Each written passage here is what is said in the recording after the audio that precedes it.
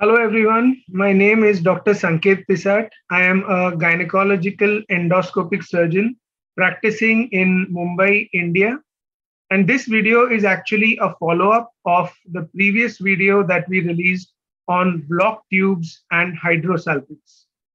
So, hydrosalpinx is probably the second stage of a block tube that happens in certain conditions we already looked at what block tubes are, how they can affect uh, pregnancy, how they can cause infertility in our last video. So if you haven't seen that, please be sure to take a look at that video as well. And in this video, we are going to be talking about hydrosalpinx. Sometimes hydrosalpinx or swollen tubes is a condition which is reported particularly on sonography in certain patients who are trying to get pregnant. How does this hydrosalpinx start? Hydrosalpinx actually starts because of the same conditions as a tubal block, which is some sort of a pelvic infection, or in particularly in the Indian population, tuberculosis.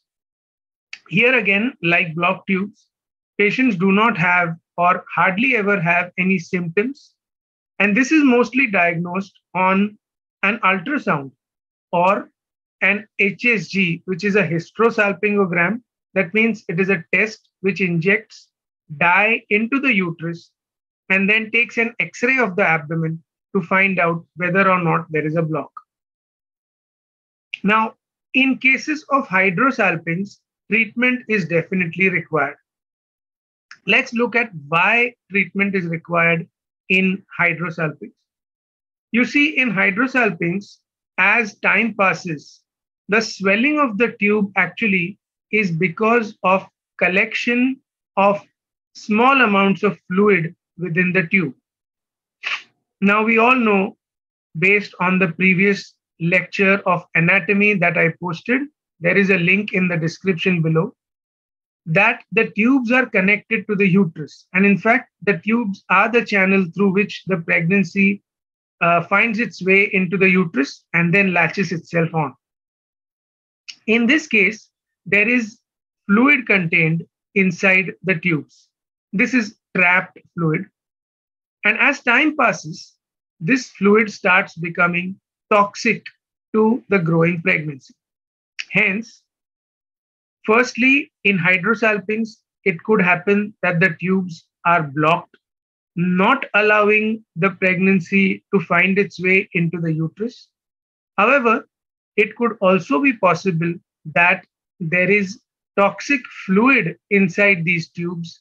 And even if you were to try to attempt a pregnancy naturally or by IVF, this would not allow the pregnancy to grow. So dealing with the hydrosalpinx is very important regardless of whether you are trying pregnancy naturally or by IVF. And this is very important to know. So what exactly is the treatment for a hydrosalpinx?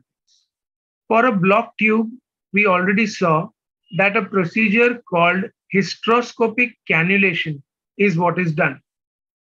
For hysteroscopic cannulation, we pass a small cannula inside the uterus up till the opening of the fallopian tube, which is blocked, and then put a stent, much the same way as a heart stent has been placed in order to open the tube.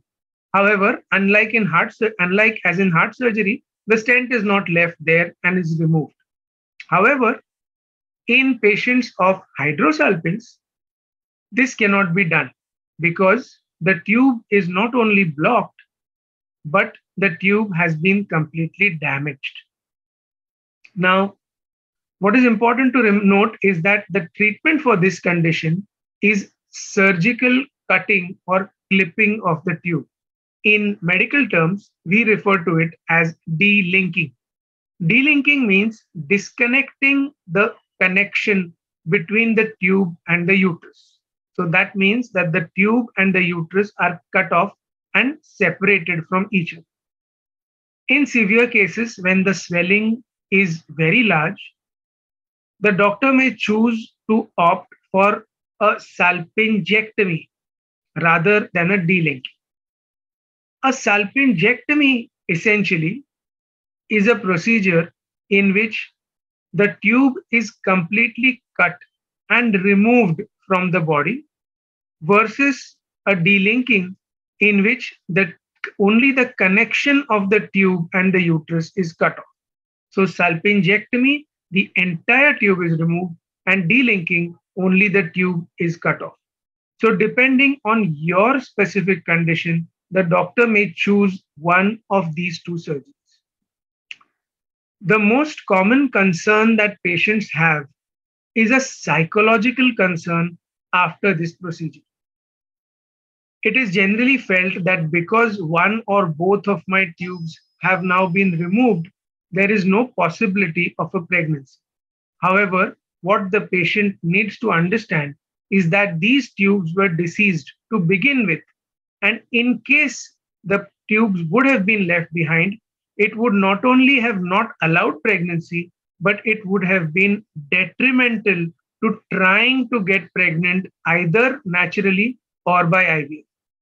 Another possibility is that because these tubes are damaged internally, there could be a possibility that you may land up having an ectopic pregnancy.